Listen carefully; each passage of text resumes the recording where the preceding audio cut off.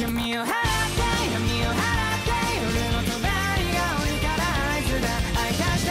Hola, soy Bash y hola amigos, bienvenidos una vez más a nuestro canal. Y bueno, el día de hoy, como ya es costumbre en el canal, les traigo la review del capítulo número 196 del manga de Jujutsu Kaisen. Así es, en esta ocasión más que nada tendremos el enfrentamiento de Miyu, aquel luchador de sumo, contra la mismísima Maki. Pelea que ayudará principalmente a que Maki libere el máximo potencial de su cuerpo. Y obviamente después de esta pelea, aparentemente estará lista para destruir a Naoya. Pero bueno, ya estaremos platicando y analizando lo ocurrido en este episodio, así que sin nada más por añadir, comencemos de una vez. Y bueno, el capítulo 196 está titulado Colonia de Sakurajima parte 6. Y ahora sí comenzando con el episodio, como recordaremos, justamente en el capítulo anterior, tanto un espadachín como un luchador de sumo llegaron al campo de batalla sorpresivamente. En este capítulo más que nada tendremos el enfoque en Miyu, el luchador de sumo, el cual como también se nos comentó en el capítulo anterior, al parecer posee un dominio simple, el cual existe solo para el sumo, ya que dentro de la barrera que este crea, todo lo que no sea sumo está prohibido. De esta manera observamos como Miyu reta a Maki diciéndole que debe relajarse ya que sus músculos están bastante tensos, además de preguntarle si le gusta el sumo, retándola una vez más a la pelea. En este momento se nos dice que una batalla exclusivamente de sumo con la orden de eliminar todos los elementos de la hechicería, como lo pueden ser los votos vinculantes. Este dominio solamente puede activarse una vez que ambos lados acepten. Y bueno, la verdad es que me decepciona un poco la técnica que menciona Miyu, ya que al parecer es necesario que su rival acepte entrar a este campo de batalla para pelear con él. A mi parecer su técnica sería mucho más interesante si este tuviera la capacidad de atrapar a sus rivales dentro de este dominio. De esta manera obligaría a cualquier adversario a tener que pelear con sumo, y obviamente todos aquellos que no tengan buenas habilidades físicas estarían inhabilitados muy rápidamente. Pero al contrario de todo esto, como se menciona, al parecer el rival tiene que aceptar la pelea, si no este dominio simple no tiene mucha utilidad.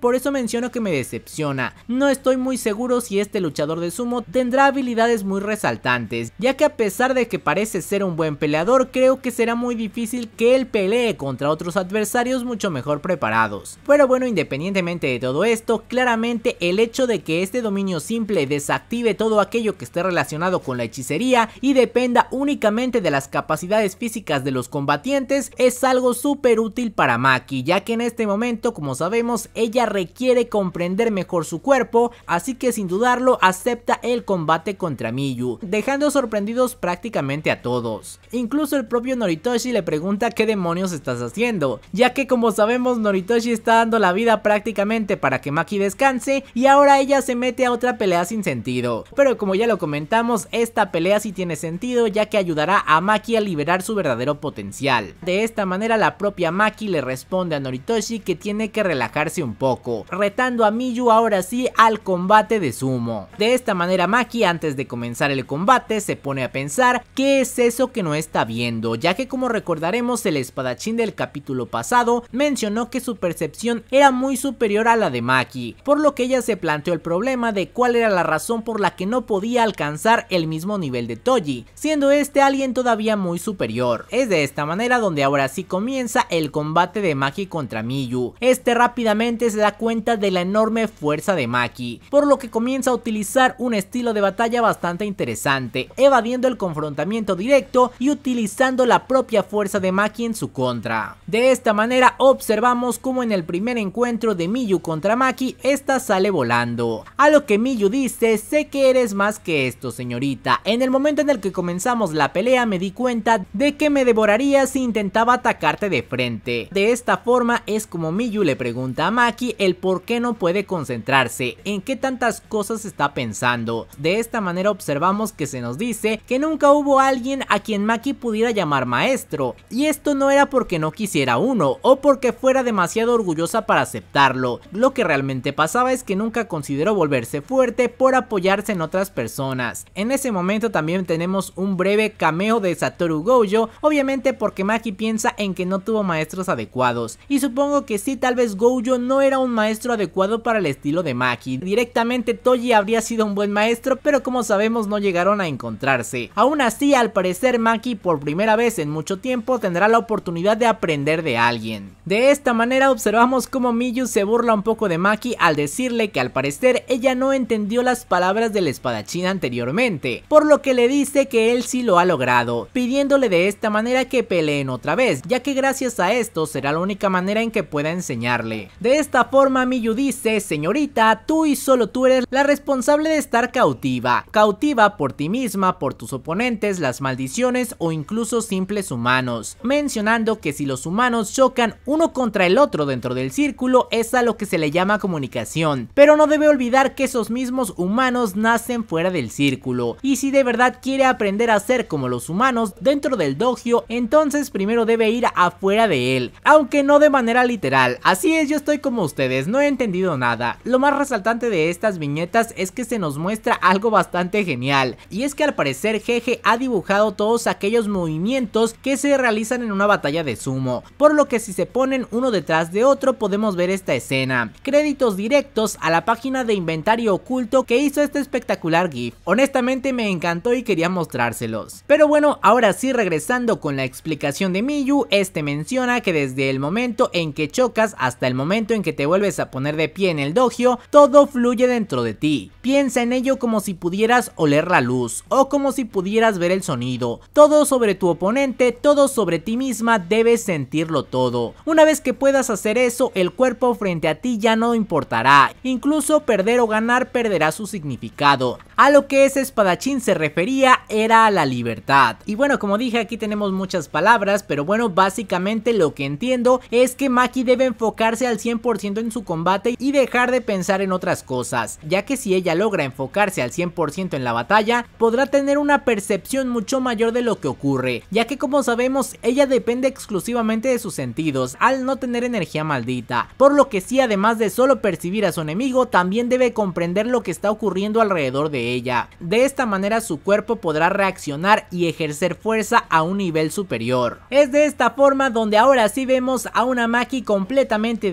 y enfocada en su contrincante, diciendo que todo lo que le queda por hacer es experimentarlo con su propio cuerpo, así que tiene que enfrentarse en sumo una vez más a Miyu, observando que en esta ocasión Maki ha obtenido la victoria y de esta manera la barrera del dominio de Miyu ha sido destruida, mostrándonos una vez más la aparición de Maki sorprendiendo a Naoya, el espadachín y Noritoshi, mencionando que jamás se había sentido mejor, por lo que se termina con la frase de Maki ve la luz.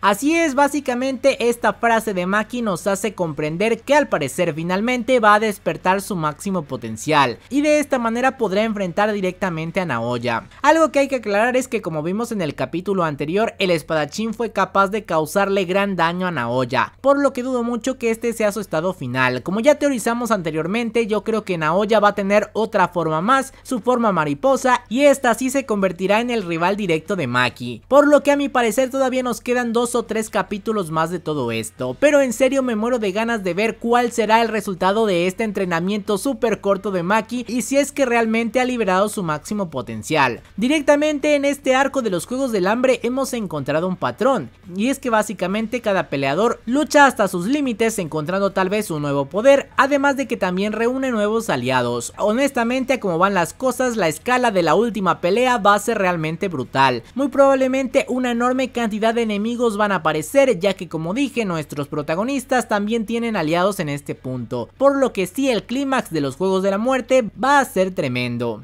Por otro lado, regresando con Maki, creo que a pesar de que su percepción va a mejorar, claramente aún es difícil decidir si estará al nivel de Toji. Yo pienso que tal vez las capacidades físicas pueda alcanzarlas, pero obviamente la experiencia de Toji es inigualable, ya que él tuvo este cuerpo por mucho más tiempo y se acostumbró a él. Independientemente de todo esto, creo que la capacidad de Maki en este punto va a ser bestial, y como se nos menciona por primera vez en mucho tiempo, Maki ha aprendido de alguien más. Pero bueno, solo nos queda esperar por el próximo capítulo y ver si Naoya es capaz de enfrentar a Maki ya con su potencial liberado. De esta manera hemos terminado el video, me encantaría que me dejen sus opiniones y teorías y antes de despedirme quiero agradecer a todos los miembros del canal que siempre nos están apoyando. Y muchas gracias Ernesto Albornoz, Eduardo Ramírez, Misael Villanueva, Emanuel Castro, Lestad Almora, Santiago de la Cruz, Alcojo Gamers, Alex Gamer, Armo, Rodrigo García, Roberto Pedrero, Fanny Morales, J. Daniel Alvarado y Soules. Y ahora sí, sin nada más por añadir, adiós.